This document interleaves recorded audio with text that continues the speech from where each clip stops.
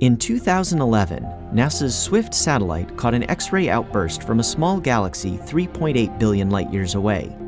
Within a couple of days, researchers realized they were witnessing the aftermath of a tidal disruption event, a star ripped apart by the monster black hole at the galaxy's center. Some of the stellar material fell toward the black hole, forming an accretion disk and a jet pointed in our direction. Tidal disruption events offer us this rare view at the most common kind of supermassive black hole in the universe, these so-called dormant supermassive black holes.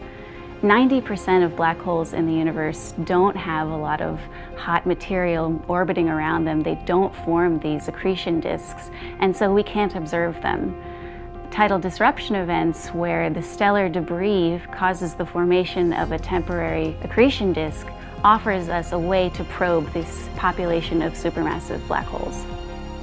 SWIFT monitored the outburst's progress and was joined by the European Space Agency's XMM Newton Observatory and the Japanese Suzaku satellite. Recently, astronomers introduced a new analysis technique that for the first time allows them to peer deep into the gravitational well of a normally quiescent black hole. Called X-ray reverberation mapping, the method charts the region close to the black hole using light echoes from X-ray flashes, similar to the way sonar uses sound to map the ocean floor.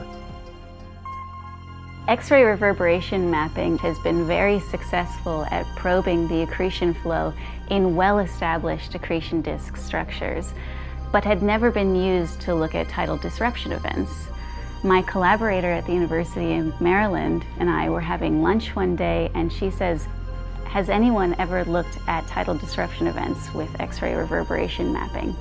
That night I stayed late at the office and just tried it out on this data from Swift J1644 and much to my surprise, the result was amazing and I could see that we were looking at the structure of the inner accretion flow around a normally dormant black hole for the first time.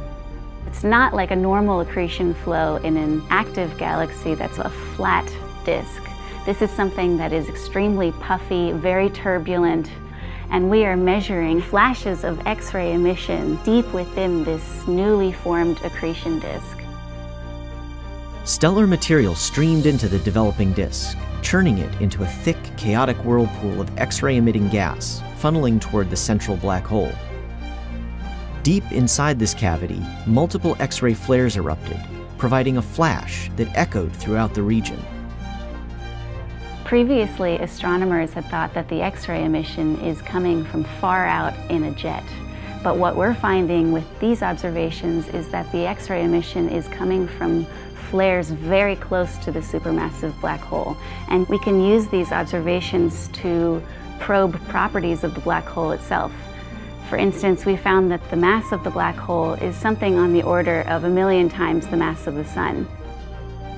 The first observations of X-ray reverberations from deep inside an accretion disk are providing new insights into a rarely observed class of black holes. They're also laying the groundwork for a better understanding of tidal disruption events and the black holes they illuminate.